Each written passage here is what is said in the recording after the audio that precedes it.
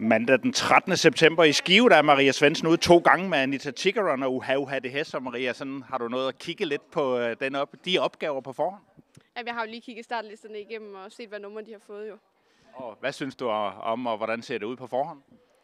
Jamen, øh, hvis vi starter med Anita, så er det jo første gang, jeg får lov at skulle ud og køre med de professionelle kuske, og øh, jeg vidste egentlig ikke, jeg var meldt på, før jeg stod startlisten, men øh, far han synes jo, jeg skulle ud, og øh, ja, det bliver vældig sjovt.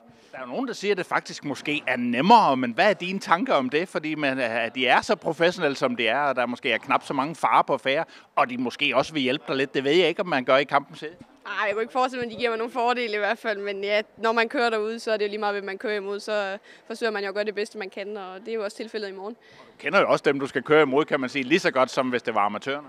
Ja, det er klart, og det ville være ekstra sjovt at slå nogle af dem i hvert fald. Har den chance for det, tror du? Jamen, jeg synes jo, hun har gået vældig godt, og sidst på Lunden blev det lidt forkert med døden, så en regntung bane, og vi ville have haft sko af, og det tog vi ikke. Og, øh, måske det er lidt af en start, man skal glemme. Hun løb trods alt ny rekord også, så hun har haft god form i rigtig lang tid, og det virker som om, hun holder den. Øh, så helt væk er hun ikke, men en decideret vinderchance er nok også lidt for hårdt at melde op. Men jeg tror godt, hun kan være med i, i præmierne i hvert fald. Er der større chancer for Blomster, når vi snakker uhav her det her i, i løb 6? Ah, Jamen, det er lige ved, at vi skal spørge her om det, fordi han øh, er jo en gammel hest, som efterhånden selv bestemmer lidt. Og han har haft en lille pause nu her. Han fik jo to galopper i resultatstrækken, og vi fandt en ømhed på ham i et forben, som han også har været opereret i, og det er klart, at vi var bange for, at den her gamle skade var brudt op igen, og det var den heldigvis ikke. Øh. Vi fik repareret den her ømhed og har trænet på igen, og han skal nok startes lidt i gang, før han er der helt, men øh, han, han skal nok løbe med i morgen også. Ellers ugen, der er gået, jeg så på de sociale medier, du var med svigerfamilien i Stockholm med Do What You Do, Do Well, og en fantastisk sejr. Hvordan var oplevelsen for dig?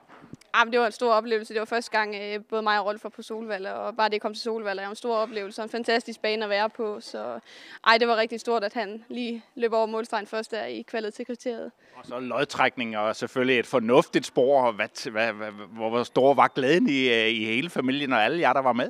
Jamen, da vi dernede i sidste sving begyndte at se, at de to forreste, at de måske ikke havde så meget fart på, som de har haft, det er klart, så, så fik vi lidt forhåbning om i hvert fald at gå videre til finalen. Og når man står dernede i svinget på Solvalg, så kan man faktisk kun se dem bagfra, men der var sådan en skærm, og vi kunne se, at han jo nåede forbi, og jamen, det, var, det var helt fantastisk. Det er jo som om livet leger lidt for dig i øjeblikket, Maria, også med Flowerdust, der man jo heller ikke helt glemt det nu.